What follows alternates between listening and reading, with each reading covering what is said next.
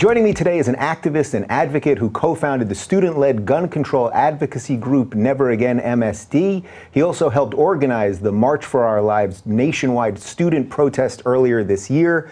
Cameron Kasky, welcome to the Rubin Report. Thanks for having me.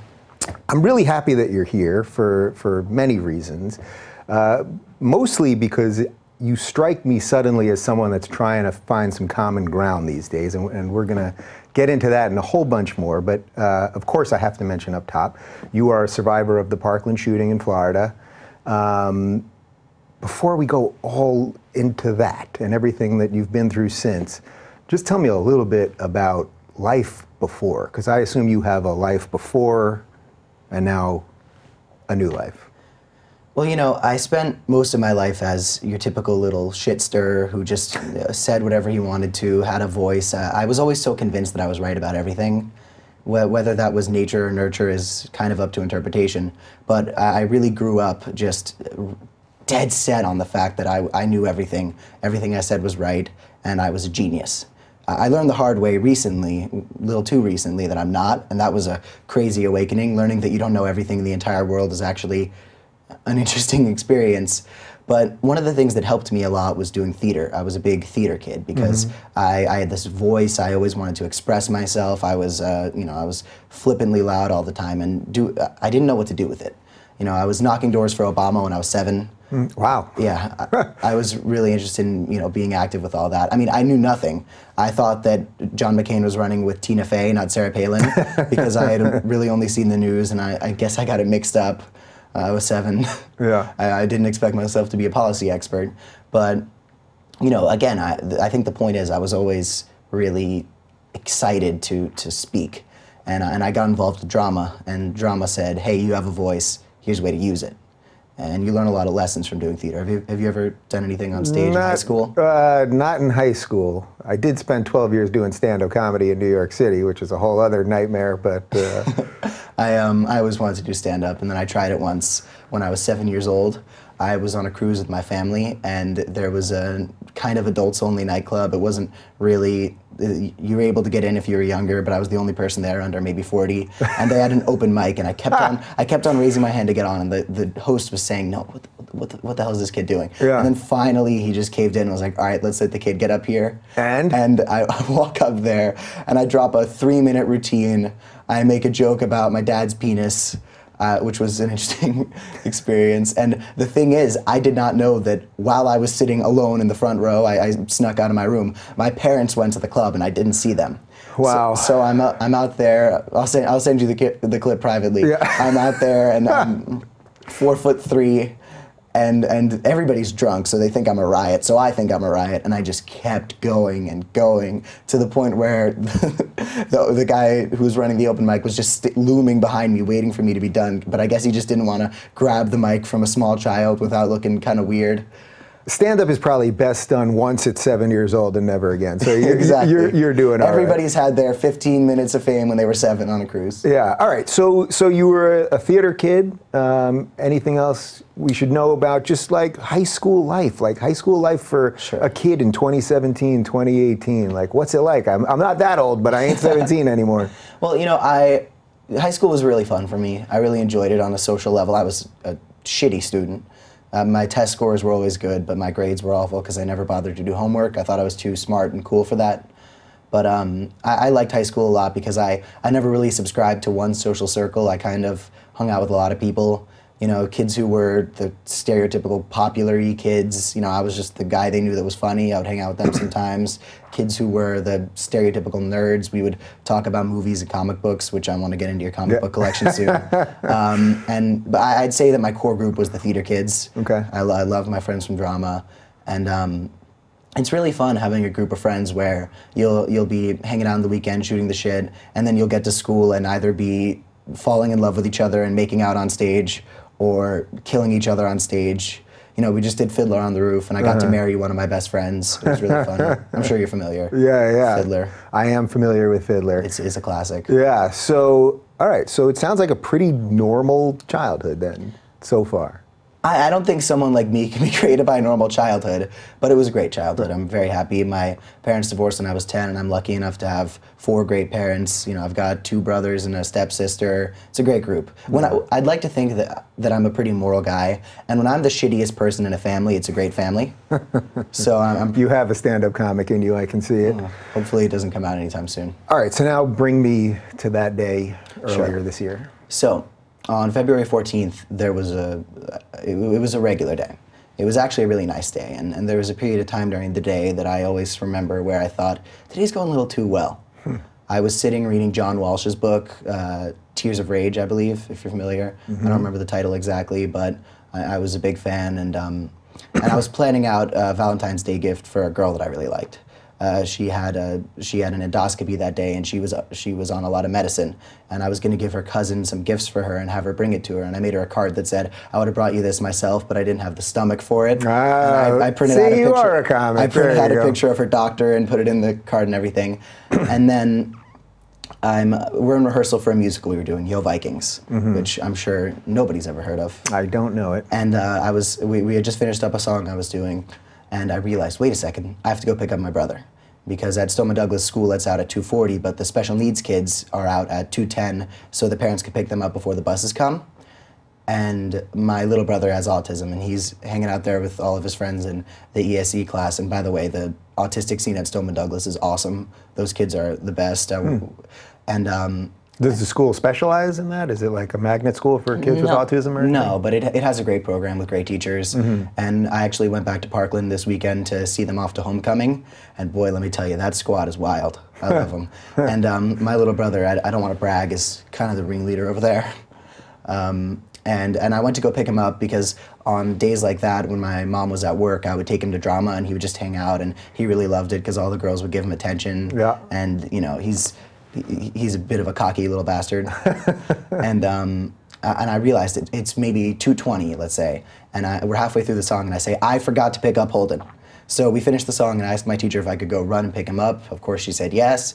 And I'm picking up Holden and suddenly there's a fire alarm and, and, I, and that was a little scary because we were close to pickup, and I was with the special needs kids, some of whom were in wheelchairs, some of whom were not, were you know a little physically disabled, and we had to go to the parking lot where the buses would come. Mm-hmm. And I said, "Oh no, what if this, fi- what if this is a real fire, and I have to sit out here and make sure that nobody gets hit by a bus?" There were teachers there, of course, but you know, it's a public school. There are maybe two teachers for f- 10, 15 students who need a lot of help. Sure. So we're out there sitting in the parking lot, and there were there were students out there from other classes nearby who, uh, because again, this is a fire drill.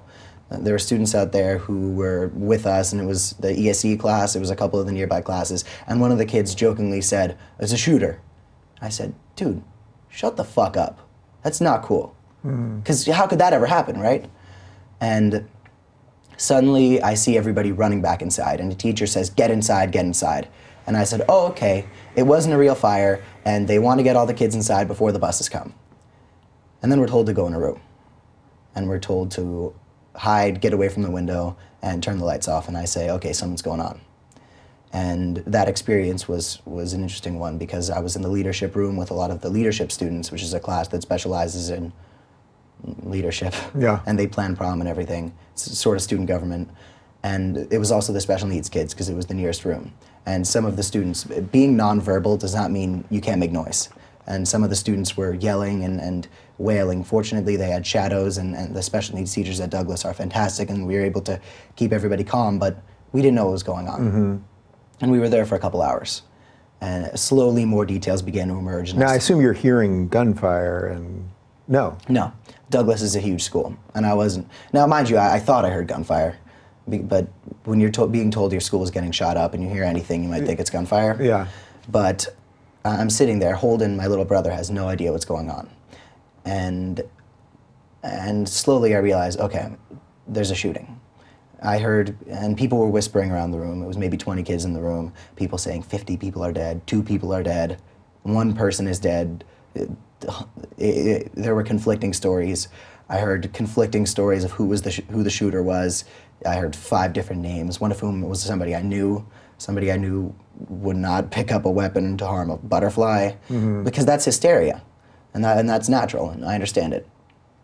Then I saw something that was a terrible exhibit of humanity, if you ask me, which was there was a Snapchat video going around that was that with the caption "Yo" with multiple O's, my school getting shot up, mm-hmm. and it was a video of a dead teacher. Look, if you're gonna film a, a shooting from inside a room so you can have evidence to show the police, good on you. If you're gonna film a shooting in a room and say "Yo, my school getting shot up" and send it to everybody you know, that's pretty awful. Yeah. And, and when you're sitting there in a room not knowing what's going on, and you see videos of people you know and love deceased, and the, and the only video I saw was of somebody who had, I had cared about for many years. He was a mentor in my life.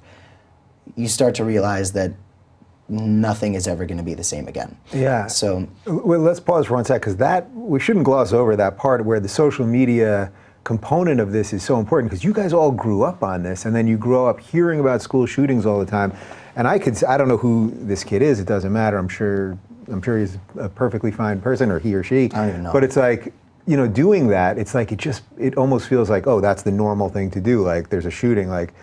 Put, put it on thing is, Snapchat, you know. you know, several people I knew were just treating it like it was normal. I mean, not the shooting, but the fact that there was a video.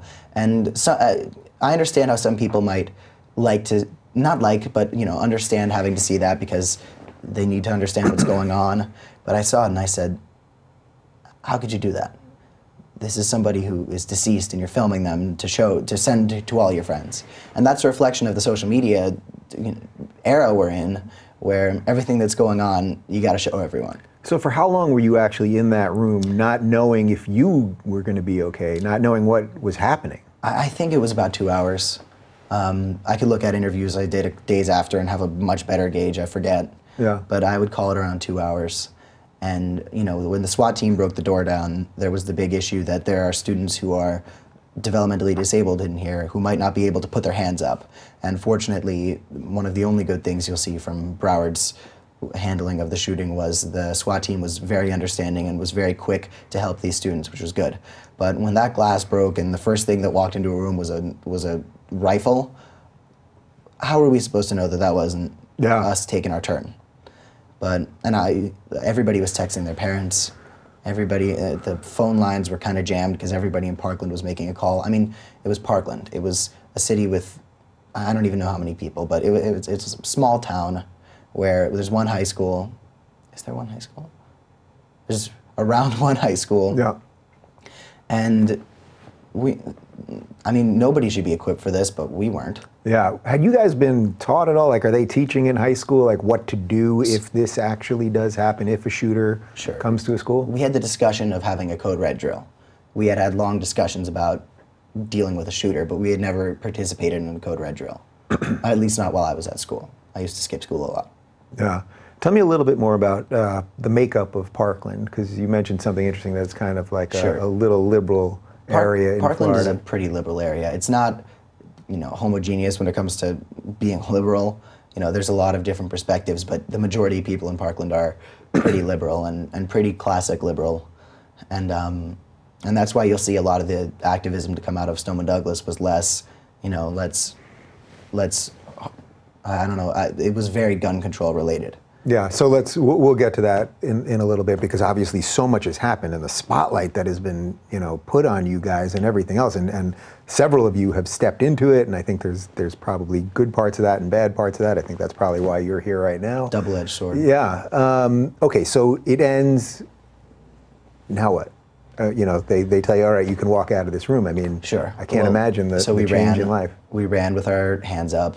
We sat outside for a bit. Um, I was able to go on a city bus with my little brother's class to the Marriott, which is the hotel, only hotel in Parkland. And So they weren't letting parents come. no, to, parents were coming to pick us up at the hotel. Okay. But there were a lot of different ways students got out of the school, a lot of different places they went. Some kids I know just ran, um, which is understandable. Yeah. Normally, when there's a mass shooting nearby, you run.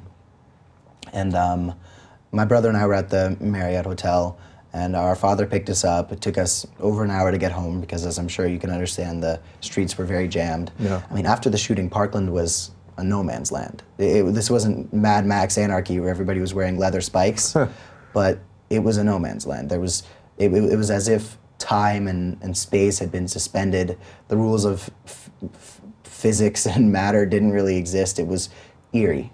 It was seven days, at least for me, that was when that period of really surreal fear existed that, that nothing felt real.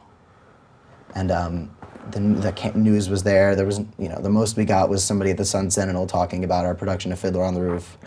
The, um, did you, in that period, and I'm sure it's very hard to even remember it clearly, did you have a real chance to mourn, to figure out what happened? Um, I don't know, you can maybe let me know how close you were to maybe some of the students, because it seems like, and I think this was part of the problem with the way we deal with these things, is that we go from the incident to immediately, especially on social media, just attacking each other and destroying each other. Then you guys all get thrust into the spotlight, and it's like, whoa, this would be hard on, on an adult, you know, impossibly hard. Meanwhile, you have these kids who are now out there talking about these things. These kids need to mourn, need to figure out what's going on with life and, and find some reality and decency. So I, I think that there's really no formula for recovering for, from a mass sh- shooting, especially one at a school. I mean, enough have happened that they're starting to develop a precedence, which is a horrible thing. But there's really nowhere to look. You can, I could have hidden away. I could have locked myself in my room for weeks, and maybe that would have been the right thing to do. I could have. I didn't know what to do, and my way of coping has always been doing something. I had dealt with some tragic loss this past year, and I had the, the, there were some really dark things that happened to people that I loved, and the way I always handled them was by doing something. I never liked to have a clear head, because while I think it's important to process your pain and deal with it, I also think that the, if I if something like that happens and I do nothing, I'm never going to forgive myself. I, I had survivor guilt. Why, why should I have left that day? Yeah. There were 15 year old girls that were murdered, and I made it out. And if I could have pressed a button to trade my life for theirs, it, it wouldn't have even been, hmm, well, maybe I should say goodbye to people, maybe I should think about this. No, I would have broken my finger pressing it too hard. So, what made me deserve life when other people who did nothing wrong, eh, people more innocent, more kind than I am, didn't get to make it out? And I realized while I'm alive, and, and one of my mentors wasn't Scott Beigel, one of the nicest guys I've ever met. He's the reason that I'm a snarky little asshole. I developed that from him. Um, he didn't make it out there, and, and he's somebody who changed young people's lives by making them better and making them more proud of themselves. So, so what makes me des- what, what has me deserving of this? Yeah. Uh, I'm not a very religious or spiritual person, so I, I, I don't I didn't think there was some great plan that got me out of school. But I think that I had a responsibility. I had a responsibility to do right by the people we lost and to do what I thought would make the world a better place while they can't. Because there were marriages that didn't happen, there were people who would have had children and, and, and uh, that didn't get, I don't know, it's, it's a horrible thing to think, but at the end of the day, uh, uh, lives ended and I still had mine. So I said, after this shooting, what I'm gonna do is something and I, I was a you know I've been a big liberal most of my life, and I and I've always been an advocate for gun control. I was a big debater of other students after the shooting in Las Vegas, where I said nobody needs these. We're, we're in a point in our society where we're advanced enough that nobody needs an assault weapon to take care of themselves. Look at the look at the way these guns are made. We can defend ourselves with handguns. My father has multiple in the house. He's a reserve police officer. He was Miami Shores for a while. I didn't. Uh, I instantly said the thing we can do here is stop folks like the shooter at my school from getting these weapons, because this is a 19-year-old who, if he had spent five minutes with a psychologist, would have been sent to a therapist, not a gun store. Yeah. Okay. So let's before we get specifically too far down the, the gun road here, which obviously we're going to touch on. Okay, you guys are trying to mourn. You know, you're having survivor guilt. All of these things, I'm sure, just in in your family and your brother and everything else. Just I can't even imagine. Then the media, because I think this is we have to hit media stuff before we get to the gun part. The media then descends. What was that like? I mean, I assume everybody and their brother was trying to reach out to all of you guys. They were putting you guys on TV. I mean, I probably even that very day. Um, what was that like for you guys, or for you? I, you know, the whole our whole situation with the media, whether it be anything from CNN to Fox News to Ellen, was a double-edged sword. Because on the one on the one hand, w- there are bodies that are warm, and we're out here on TV, And in, in retrospect, I might have done that differently. I'm not sure. On the other hand, I couldn't let this be like Sandy Hook, for example. Yeah. I couldn't let this be people coming into film, crying mothers, uh, talking about how bad these guns are, and leave. I wanted to get out there and say no. Okay, this. How many of these do we need before we do something? Uh, uh, I don't. I didn't want people to see Parkland as a place where everybody was crying and everybody was throwing a pity party. I wanted par- people to see Parkland as a place where a terrible tragedy happened and the city stood up and said, "No, we're not going to be like these other places. We are going to be a catalyst." I mean, before before Stoneman Douglas, I would sit, I would hear the word Sandy Hook in a room and everybody would get quiet and it would be weird.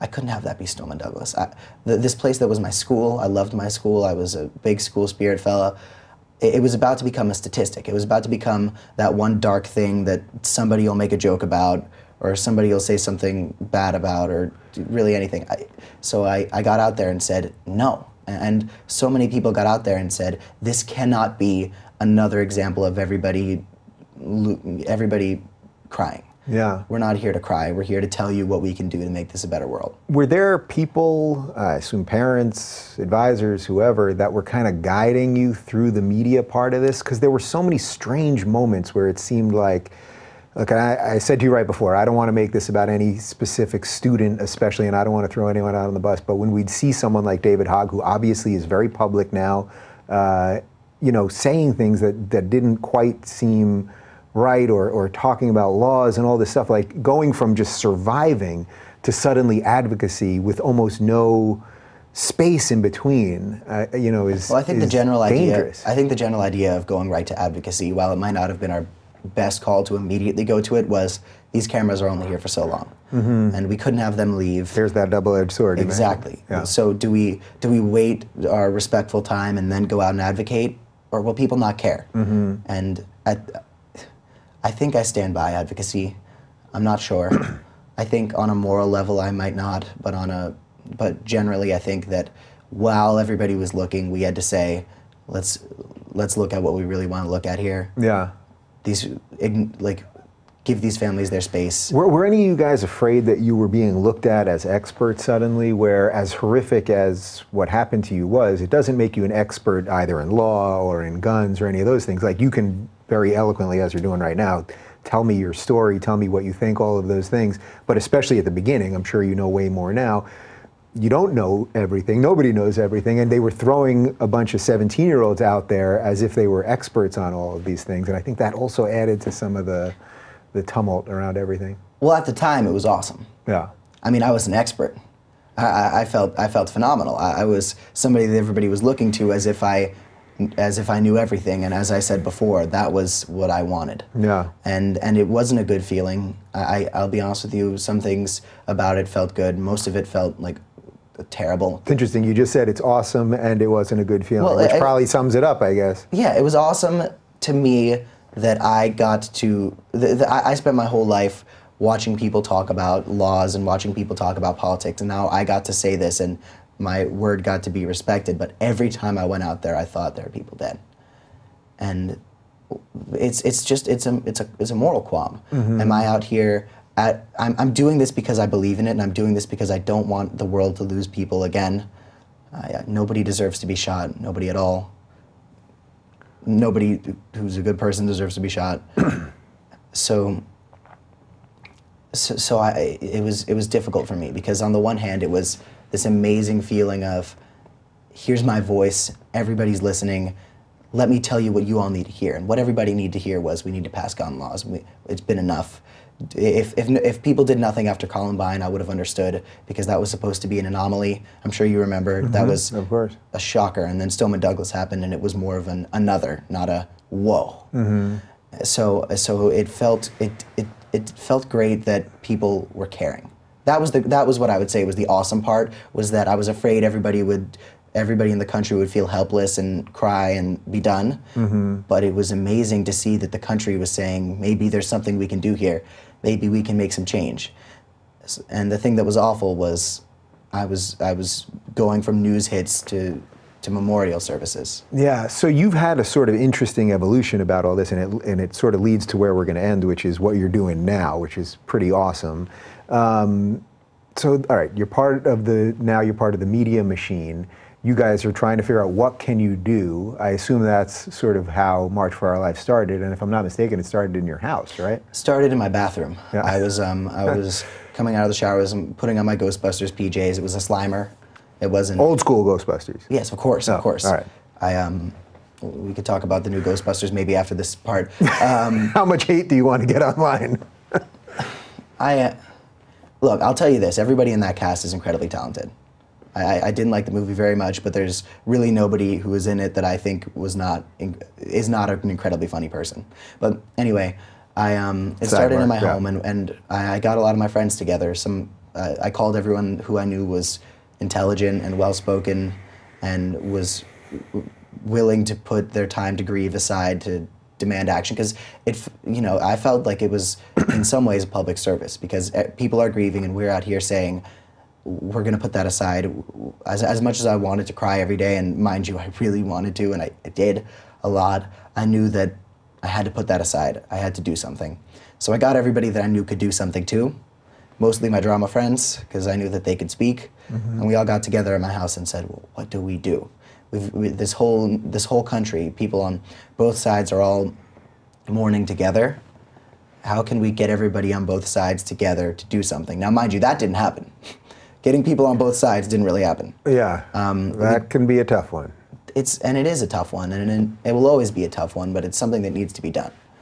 And and uh, you know from from my home we were sleeping two hours a night i would go entire days only eating one protein bar not even realizing we were so it was such a tornado that we were all we all kind of forgot what it was like to be a normal person So you come up with the idea for March for Our Lives. Now, get us to that day and. What was, was it supposed to be? What, what were the actual original intentions beyond let's not forget about this? original intentions were let's get gun control passed and uh, i'm still a big let's get gun control passed guy. And um, and th- that's what we wanted to do. We wanted to say everybody out here is saying we should do this. Let's get everyone together. Let's let's get a, a big march together where people say i want i'm coming all the way out here. I'm standing out here today to demand this. And and seeing everybody together was amazing. I um, get getting up on the stage and seeing all those people. I, I didn't care about the mm, being in front of them. I mean, I was a drama kid. Uh, I stood in front of people and talked for the past five years. But I saw all those people and I said, these people believe in something. The, these people are, come from different places. These people are all completely different, but they're all together because they believe in one thing. And that was magical. And I don't use the word magical very often. I think it's cliche, but that was magical. And it was, it was, it was amazing to see. But from the beginning of our adv- advocacy to the march, it was it was a lot of personalities together and we were able to make it through the pain we felt together. I mean so often people said well why are you guys eh, you know your school got shut up a month ago your school got shut up three weeks ago why are you smiling?